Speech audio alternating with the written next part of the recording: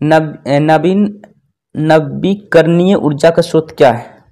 नवीकरणीय ऊर्जा का स्रोत क्या है? तो सौर ऊर्जा तो जो होता है नवीकरणीय ऊर्जा का स्रोत है।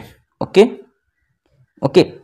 नवीकरणीय ऊर्जा मतलब इंसान के द्वारा उत्पन्न बनाया गया ऊर्जा, है ना? तो सौर ऊर्जा तो इंसान ने बनाया, कोयला इंसान ने पैदा नहीं किया, है ना? नाभिकीय ऊर्जा जो होती है, जो सूर्य सूर्य के प्रकाश से आती है, ये भी इंसान ने नहीं पैदा किया। कोयला से इंसान ने नहीं पैदा किया, प्राकृतिक गैस से प्राप्त ऊर्जा, ये तो प्राकृतिक लगा हुआ है, इसका मतलब इंसान के इसमें कोई हाथ ही नहीं है। यानी सौर ऊर्जा जो लगा होता है, सौर सौर पैनल से जिससे हम लोग रोशनी प्राप्त करते हैं, ये ऊर्जा जो है मनुष्य के द्वारा कृत्रिम ऊर्जा कहलाता है, इसीलिए इसे नवीकरणीय ऊर्जा कहते हैं। तो ऑप्शन नंबर बी इसका राइट आंसर हो जाएगा, ठीक है?